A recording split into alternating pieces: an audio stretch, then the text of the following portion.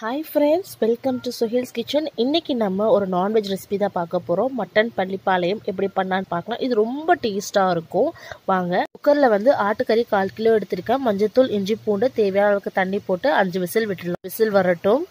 Mutton பள்ளிப்பாளையத்தை இன்றைக்கி வந்து நான் இரும்பு கடையில் தான் பண்ண போகிறேன் ரெண்டு டேபிள் ஸ்பூன் அளவுக்கு கடலெண்ணெய் கடலெண்ணெய் காஞ்சோடனே கருவேப்பிலை. கருவேப்பிலை நல்லா பொரிஞ்ச உடனே இதுக்கு ரொம்ப முக்கியமான இன்க்ரீடியன்ட் வரமிளகா. ஒரு பத்து வரமிளகா விதை எடுத்து வச்சுருக்கேன்.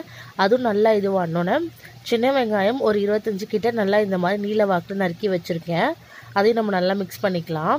ஸோ சின்ன வெங்காயம்னா ரொம்ப டேஸ்ட்டாக இருக்கும். நார்மல் வெங்காயம்னா பிரச்சனை கிடையாது.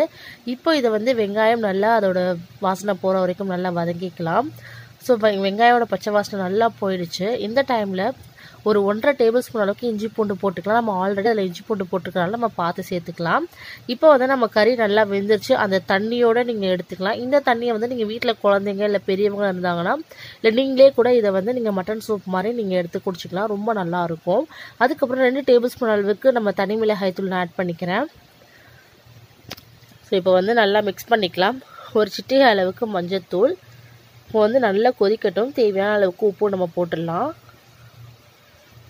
போட்டுட்டு நல்லா வதக்கிக்கலாம். இப்போ வந்து ஒரு ரெண்டு டேபிள் ஸ்பூன் அளவுக்கு மல்லித்தூள் ஒரு ஒரு டீஸ்பூன் அளவுக்கு ஜீரகத்தூள்.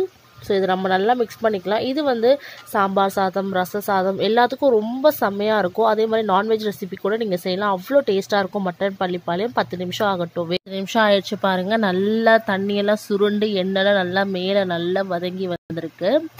இந்த டைமில் கொத்தமல்லி தலை ஆட் பண்ணிக்கலாம். கொத்தமல்லி தலை ஆட் பண்ணி நல்லா மிக்ஸ் பண்ணிக்கலாம். ஸோ ரொம்ப டேஸ்டியாக இருக்கும். கண்டிப்பாக ட்ரை பண்ணி பாருங்கள் வீட்டில் அதுக்கப்புறமா லாஸ்ட்டாக வந்து துண்டு துண்டாக நறுக்கி வச்சுருக்க தேங்காய். நீங்கள் அரைச்சும் ஊற்றலாம் இந்த மாதிரி போட்டிங்கன்னா இன்னும் ரொம்ப டேஸ்ட்டாக இருக்கும். ஸோ நீங்கள் கண்டிப்பாக இந்த மட்டன் பள்ளிப்பாளையத்தை ட்ரை பண்ணி பார்த்துட்டு கமெண்டில் சொல்லுங்கள் அவ்வளோ டேஸ்ட்டாக இருக்கும். இந்த வீடியோ பிடிச்சிருந்துச்சுன்னா எப்பவும் போல் லைக் பண்ணுங்கள் ஃப்ரெண்ட்ஸ் அண்ட் ஃபேமிலிக்கு ஷேர் பண்ணிவிட்டு சுகேல்ஸ் கிச்சனை சப்ஸ்கிரைப் பண்ணிக்கோங்க. சப்ஸ்கிரைப் பண்ணிவிட்டு அப்படியே பக்கத்தில் இருக்க பெல் ஐக்கனையும் மறக்காமல் கிளிக் பண்ணி வச்சுக்கோங்க. அப்போ தான் நான் போடுற லேட்டஸ்ட் வீடியோஸ்லாம் மறக்காமல் உங்கள் நோட்டிஃபிகேஷனில் வரும். நீங்கள் பார்க்குறதுக்கும் ரொம்ப ஈஸியாக இருக்கும். பாய்